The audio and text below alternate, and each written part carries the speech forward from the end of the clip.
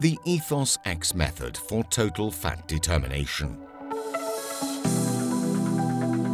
The process begins with the weighing of the sample and the reagents into the SR15 closed vessel's rotor.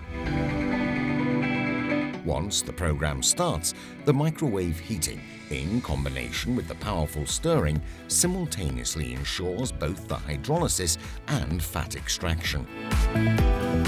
The efficient Easy Temp temperature control offers reproducibility and safety throughout the procedure.